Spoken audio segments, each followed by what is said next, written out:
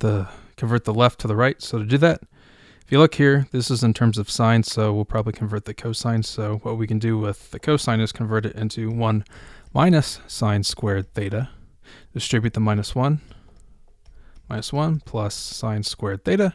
And we get 2 sine squared thetas. We get 2 sine squared theta minus 1, which matches up.